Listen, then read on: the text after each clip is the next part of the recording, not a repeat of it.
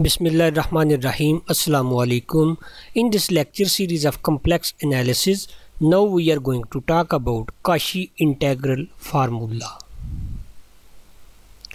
Cauchy integral formula जो है इसकी स्टेटमेंट है कि फ़ंक्शन जो है आपका किसी भी सिंपली कनेक्टेड डोमेन डी के अंदर एनालिटिक है आपके पास एक डोमेन है और उस डोमेन के अंदर तमाम पॉइंट्स पे जो एफ़ ऑफ़ जी है वो एनालिटिक है और डी जो डोमेन है, वो इनक्लोज्ड है by a closed contour C एक क्लोज्ड कंटूअर सी है, ठीक है? उसका जो अंटीरियर पोर्शन है, वो सारे का सारा सिंपली कनेक्टेड है, जिसको हमने डी लिखा हुआ है। और उसी डी के अंदर एक पॉइंट है z equal to a and f of z is analytic on C और एफ़ ऑफ़ जी जो है वो उसके इंटीरियर पॉइंट्स पे भी और सी की बाउंड्री दोनों पे जो है वो एनालिटिक है। ठीक है? और सी के अंदर जो है एक पॉइंट है a z equal a then f of z by z minus a d z ये एक नया फ़ंक्शन बन रहा है। एफ़ ऑफ़ जी जो है ये तो सिर्फ़ नामीरेटर में है। जब एफ़ ऑफ़ जी को आप जी माइनस ए पे डिवाइड करें तो आपको एक नया फ़ंक्शन मिलेगा, उसको आप फाई ऑफ़ जी भी कह सकते हैं। फाई ऑफ़ जी जो है, वो जी इक्वल ए पे एनालिटिक नहीं है। जो स्टेटमेंट में बात हुई है, वो एफ़ ऑफ़ जी की हुई है। एफ़ ऑफ़ जी तो हर जगह एनालिटिक है। सी की बाउंड्री पे भी और सी के इंटीरियर पॉइंट्स पे भी। और सी के अंदर एक point z equal to a भी है। मैं बात कर रहा हूँ इस पूरे फ़ंक्शन की f of z by z minus a की। मैं कह रहा हूँ कि ये एक नया फ़ंक्शन है, जिसको आप फाई ऑफ़ जी या जी ऑफ़ जी कह सकते हैं, जिसमें नामिनेटर एफ़ ऑफ़ जी है और डिनामिनेटर जी माइनस ए है। ये एक रैशनल फ़ंक्शन है। और ये जो रैशनल फ़ंक्शन है, ये जी इक्वल ए पे एनालिटिक नहीं है। ठीक है?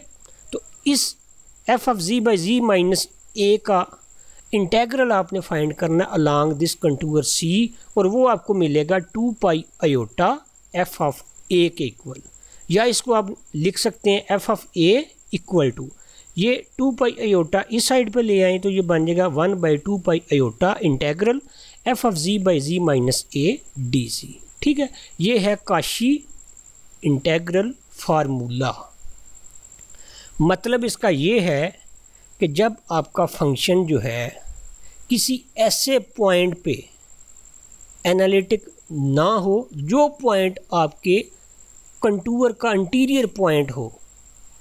यानी उसके अंदर होल आ जाए तो फिर काशी इंटेग्रल थ्योरम का तो यूज़ आप नहीं कर सकेंगे। उस वक्त आप किसका यूज़ करेंगे? फिर काशी इंटेग्रल फार्मूला का। काशी इंटेग्रल फार्मूला और काशी इंटेग्रल थ्योरम ये दोनों डिफरेंट है।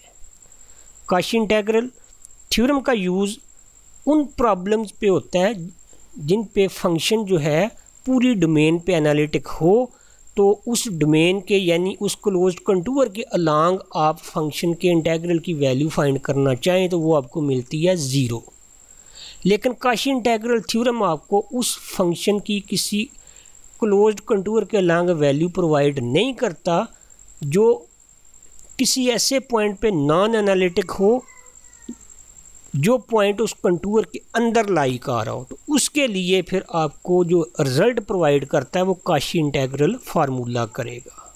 ठीक है? एक एग्जांपल देखते हैं।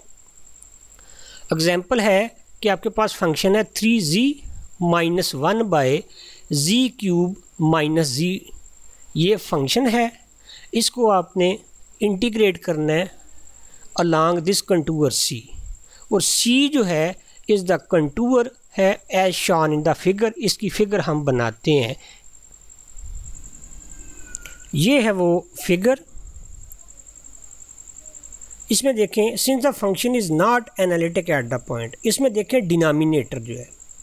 अगर आप इसका कंपैरिजन करें काशी इंटेग्रल फार्मूला के साथ, उसमें जो नामिनेटर में होता है, वो एक फ़ंक्शन होता है थ्री जी माइनस वन ये तो हर जगह इस कंटूर की बाउंड्री और इंटीरियर पॉइंट पे एनालिटिक है।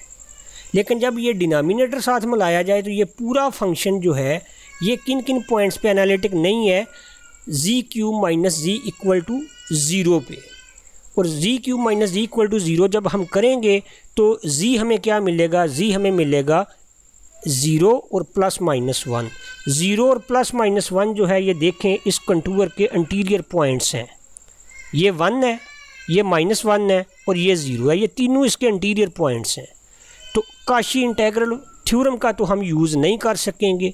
काशी इंटेग्रल थ्योरम का यूज़ तब होता अगर आपका फ़ंक्शन जो है सारे का सारा इन पॉइंट्स पे बी एनालिटिक होता है, यानी पूरी की पूरी ये जो अंटीरियर डोमेन है, इस सारी पे एनालिटिक होता तो हम काशी इंटेग्रल थ्योरम का यूज़ करते हुए इसका इंटेग्रल जो है उसकी वैल्यू लिख लेते हैं ज़ीरो लेकिन अब हमने क्या करना है इस पूरे फ़ंक्शन को इंटीग्रेट करना है। इस सी के लांग सी आपको ये नज़र आ रहा है और ये फ़ंक्शन जो है, जिन तीन पॉइंट्स पे एनालिटिक नहीं है, वो तीनों के तीनों इसके इंटीरियर पॉइंट हैं। तो पहले भी मैं ज़िक्र कर चुका हूँ कि जब आपको किसी ऐसे फ़ंक्शन को किसी क्लोज कंटूर के लांग इंटीग्रेट करना पड़ जाए कि जिसमें वो फ़ंक्शन जो है, कुछ ऐसे पॉइंट्स पे नॉन एनालिटिक हो, जो पॉइंट्स उस कंटूर के इंटीरियर पॉइंट्स हों तो आपको काश इंटेग्रल फार्मूला का यूज़ करना पड़ेगा। ठीक है? यहाँ हमने लिख दिया since the denominator of the integrand integrand ये है ना, ये जो फ़ंक्शन है, इसका जो डिनामिनेटर है वो लीनियर नहीं है। क्यों? क्योंकि यहाँ पर जी की पावर थ्री है। तो फिर हम क्या करेंगे? इसे लीनियर बनाएँगे। लीनियर क्यों बनाएँगे? क्योंकि काशी इंटेग्रल फार्मूला का यूज़ करने के लिए डिनामिनेटर का लीनियर होना ज़रूरी है। ये देखें ना, डिनामिनेटर में जी माइनस ए आ रहा है। और ए वो पॉइंट है जिस पे फ़ंक्शन नॉन एनालिटिक है। जैसा कि उसमें हमें मिला है ज़ीरो प्लस वन और माइनस वन हमें क्या करना है? हमें डिनामिनेटर को लीनियर बनाना है। तो डिनामिनेटर लीनियर बनाने के लिए हमें क्या करना पड़ेगा? इसको पार्शियल फ्रैक्शन में कन्वर्ट करना पड़ेगा। तो हम ये फ़ंक्शन जो है सारा ये उठा लेते हैं। Three z minus one by z cube minus z ताकि हम इसको पार्शियल फ्रैक्शन में कन्वर्ट कर सकें। इसे हम three z minus one by z into z square minus one z square minus one को z minus one into z plus one तो इस तरह से a by z plus b by z minus one plus c by z plus one करके हम A B C की value find करेंगे तो हमें ये फ़ंक्शन जो है, ये तीन फ़ंक्शन के सम के तौर पे मिल जाएगा और इन तीनों में जो डिनामिनेटर होंगे वो लीनियर है। यहाँ भी देखें जी की पावर वन है, यहाँ भी वन है, यहाँ भी वन है। ठीक है? तो पार्शियल फ्रैक्शन में कन्वर्ट करने के बाद हमें मिली ए की वैल्यू वन बी की वैल्यू भी वन और सी की वैल्यू माइनस टू अब ये फ़ंक्शन था आपके पास ओरिजिनल इसको आपने इंटीग्रेट करना था लॉन्ग सी तो इसको हमने स्प्लिट किया इन तीन फ़ंक्शन के सम के तौर पे तो इन तीनों का इंटेग्रल भी हम फिर इसी तरह से लिख लेंगे. अब बारी बारी इनको हम क्या करते हैं? इंटीग्रेट करते हैं. पहले नंबर पे ये देखें. इसको अगर आप कंपैरिजन करें इसके साथ तो ये क्या है? F of z by z minus a d z हो तो इसको आप क्या करें? अलॉन्ग सी इंटीग्रेट करें तो आपको इसका इंटेग्रेट मिलेगा two pi iota f of a यानी फ़ंक्शन की वैल्यू एट ए और वो ए जो है, वो हमारे पास तीन है ज़ीरो प्लस वन और माइनस वन तो हमारे पास तीनों जो इंटेग्रल में इस फॉर्म में लिखे गए हैं f of z by z minus a की फॉर्म में, ये देखें।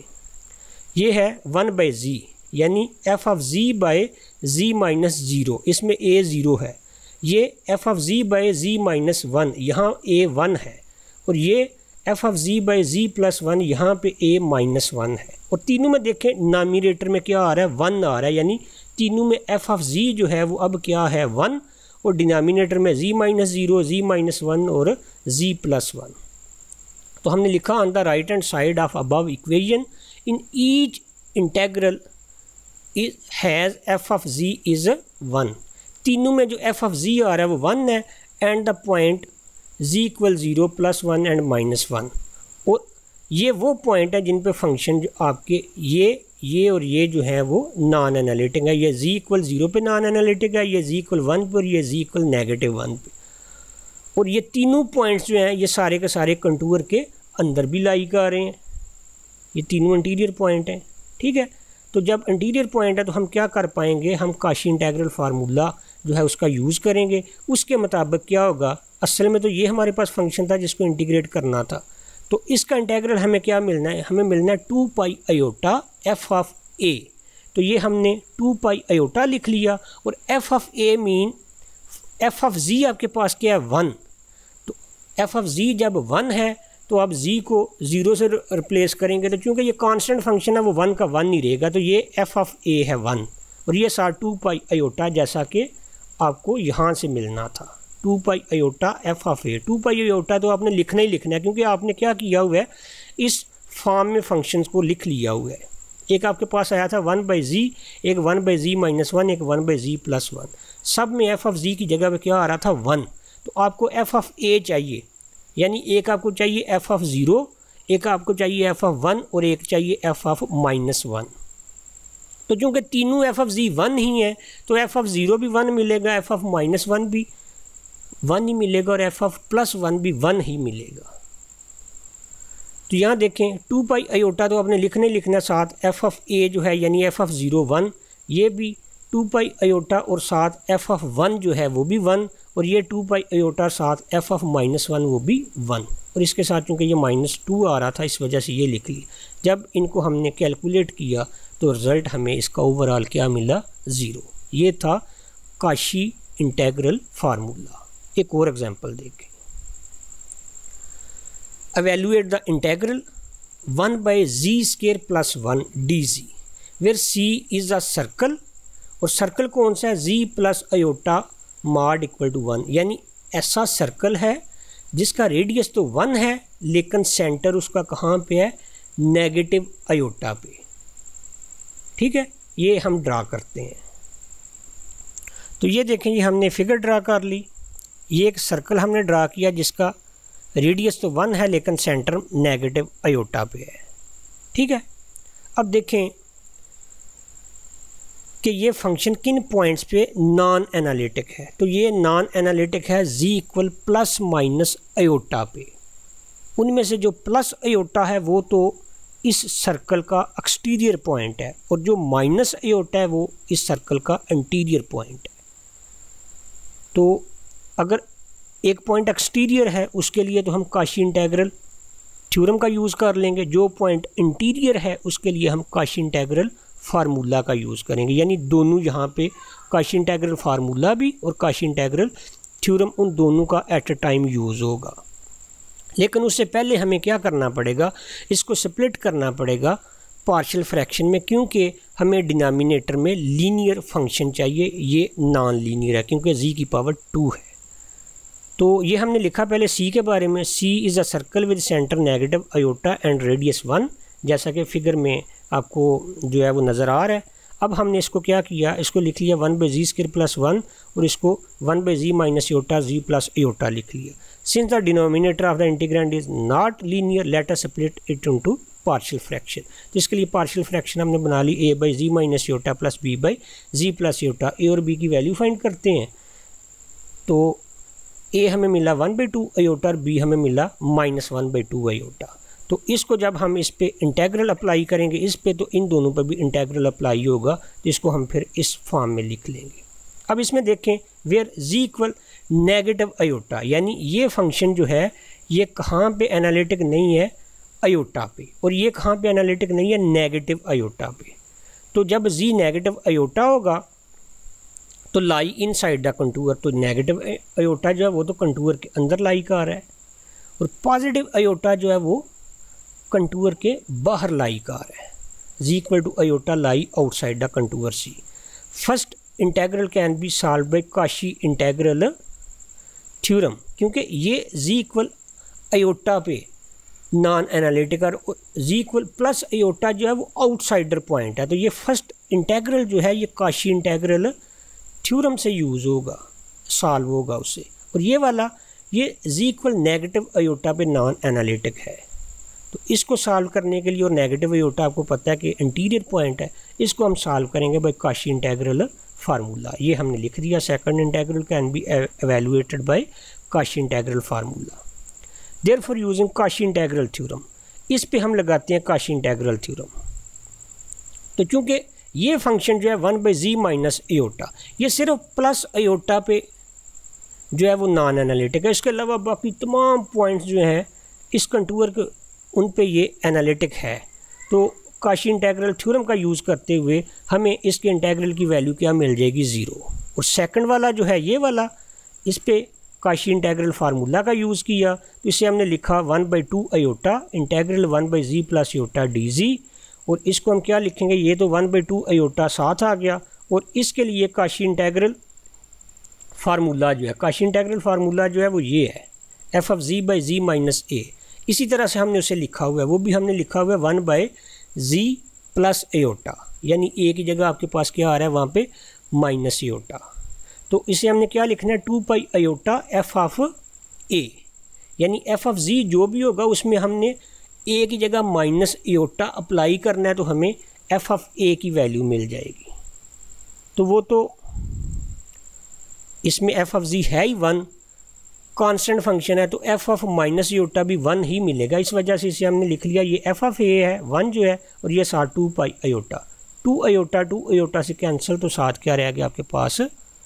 पाई रह गया। अब हमने ये लिखा, ये इन दोनों के डिफरेंस के इक्वल था, ये दोनों लिखे, इसकी वैल्यू हमें ज़ीरो मिली, और इसकी वैल्यू हमें पाई मिली तो इस नेगेटिव की वजह से हमें ओवरऑल इंटेग्रल की वैल्यू क्या मिल गई? Minus pi. ये क्वेश्चन ऐसा था जिसमें हमें एक ही वक्त में एक इंटेग्रल पे काशी इंटेग्रल थ्योरम का, दूसरे पे काशी इंटेग्रल फार्मूला का यूज़ करना पड़ा है। एक और प्रॉब्लम देखें। कहते हैं एवेल्यूएट द इंटेग्रल फ़ंक्शन है ई e की power z minus one by z d z और सी जो है, ये एक यूनिट सर्कल है। ठीक है? अब यूनिट सर्कल जो है उसके लिहाज से ये देखा जाए तो ये फ़ंक्शन जो है, ये किस पॉइंट पे एनालिटिक नहीं है? जी इक्वल ज़ीरो पे। और जी इक्वल ज़ीरो जो है, वो यूनिट सर्कल का इंटीरियर पॉइंट होता है। इसका मतलब क्या है कि इस पर काशी इंटेग्रल फार्मूला का यूज़ होगा। ठीक है? इसको हमने ये देखा ना, लिख लिया ई की power z minus one by z minus zero d z ये ए का काम दे रहा है यहाँ पे। ए इक्वल ज़ीरो है। और ये एफ़ ऑफ़ जी है ई की power z minus one function is not analytic at z equal to zero and z equal zero inside the contour C ठीक है? So by Cauchy integral formula इससे हम क्या लिख लेंगे? Two pi iota f of a और f of ए यहाँ पे क्या था? ज़ीरो तो टू पाई अयोटा तो ये, और f of zero f of z आपके पास ये है ना? E की पावर जी माइनस वन ये हमने लिखा है एफ़ ऑफ़ जी ई की पावर जी माइनस वन और इसमें हमने क्या करना है? जो है जी को ज़ीरो से रिप्लेस करना है। एफ़ ऑफ़ जी यानी f of zero equal e की power zero minus one e की power zero one minus one ये ज़ीरो मिला और जब यहाँ इसकी वैल्यू ज़ीरो लगाएँगे तो ओवरऑल हमें इसके इंटेग्रल की वैल्यू क्या मिल जाएगी? ज़ीरो एक और प्रॉब्लम है, कहता है एवेलुएट द इंटेग्रल इंटेग्रल है z along this contour C sine hyperbolic square z plus cos z by z minus pi iota d z और सी जो है, ये आपके पास एक सर्कल है, जिसका सेंटर ऑरिजन पे है और रेडियस उसका फोर है। अब इस फ़ंक्शन को अगर देखा जाए सारे को तो डिनोमिनेटर में देखें जी माइनस पाई अयोटा ये एक लीनियर फ़ंक्शन आ रहा है और जी इक्वल पाई अयोटा पे डिनोमिनेटर ज़ीरो हो जाएगा। तो पाई अयोटा आपने देखना है कि इसका इंटीरियर पॉइंट है या एक्सटीरियर है। तो पाई मुझे पता है थ्री पॉइंट वन फोर के इक्वल होता है। तो three point one four iota वो इसका इंटीरियर पॉइंट होगा, क्योंकि इसकी बाउंड्री कहाँ तक जाएगी? फोर अयोटा और minus four iota y axis पे, यानी जो वर्टिकल एक्सेस है और हरिजेंटल एक्सेस पे फोर और माइनस फोर तक। इस वजह से पाई अयोटा जो है वो इसका इंटीरियर पॉइंट होगा। Function is not analytic at z equal pi iota and z equal pi iota lie inside the circle z mod equal to 4. So by Cauchy integral formula. Cauchy integral formula की मदद से मैं इसे क्या लिखूँगा to pi iota ये है ना f of z by z minus a d z नीचे मेरे पास क्वेश्चन में था जी माइनस पाई अयोटा और ऊपर है साइन हाइपरबॉलिक स्केयर प्लस दो टर्म और हैं ठीक है तो मुझे करना कैसे लिखना है two pi iota f of a. Two pi iota तो लिखना ही लिखना है। और जो नामीरेटर में फ़ंक्शन होगा, उसको मुझे रिप्लेस करना है पाई अयोटा से जी को। तो मुझे इसके इंटेग्रल की वैल्यू मिल जाएगी। ठीक है? तो ये two pi iota f of pi iota लिख लिया। टू पाई अयोटा मल्टीप्लाई ये फ़ंक्शन है मेरे पास sine hyperbolic square z plus cos of z मुझे इस फ़ंक्शन की वैल्यू फाइंड करनी है किस पे? पाई अयोटा पे। ठीक है? तो मैंने इसे फिर लिख लिया। Sine hyperbolic square pi iota plus cos hi cos pi iota अब साइन हाइपरबालिक पाई एयोटा मुझे पता है ई e की power iota pi minus e की power minus iota pi by two के इक्वल होता है। क्योंकि साइन मुझे पता है साइन हाइपरबालिक जी किसके इक्वल होगा? ई की पावर जी माइनस ई की power minus z by two तो यहाँ पे क्योंकि पाई अयोटा है तो इसे फिर इस फॉर्म में लिखा जाएगा। अब अब ई e की पावर एटा पाई इक्वल होता है cos of pi plus iota sine of pi sine of pi तो हो गया ज़ीरो काज ऑफ़ पाई क्या रह गया? माइनस वन माइनस इसे क्या लिखा जाएगा ई e की पावर माइनस एयोटा पाई. इसे भी लिखा जाएगा cos of pi minus iota sine of pi sine pi again zero इसकी वैल्यू वन इसकी वैल्यू माइनस वन इस माइनस की वजह से. ठीक है? तो one minus one zero by two ये ज़ीरो मिल गया. तो जब साइन हाइपरबालिक पाईटा ज़ीरो है तो इसका स्केयर भी आपको ज़ीरो मिलेगा। इसी तरह से काज जी काज ई को हम लिख सकते हैं ई की power iota. Z plus e की power minus iota z by two तो जब जी को मैं पाई एओटा से रिप्लेस करूँगा तो इस फॉर्म में लिख लूँगा। इससे मैं मल्टीप्लाई करूँ तो ये बनेगा मेरे पास ई की power minus pi plus e की पावर पाई यानी ई की पावर पाई प्लस ई की power minus pi by two तो इससे काज हाइपरबालिक पाई लिखा जा सकता है। ठीक है? तो ये जो सारा है, इसकी जगह मुझे इसकी जगह ज़ीरो मिला और इसकी जगह मुझे मिल गया काज हाइपरबालिक पाई तो cosh hyperbolic pi multiply two pi iota ये टू पाई अयोटा मल्टीप्लाई ये zero plus cos hyperbolic pi ये मुझे इसके इंटेग्रल की वैल्यू मिल गई. ओके अल्लाह हाफिज़.